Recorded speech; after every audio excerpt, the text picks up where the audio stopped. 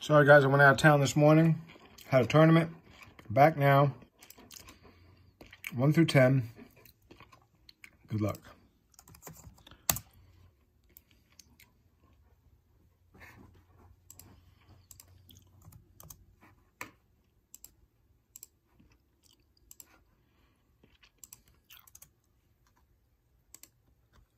Number one.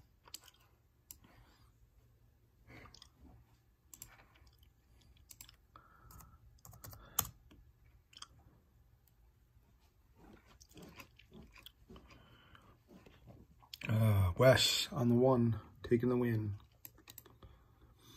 That's it. Have a good one.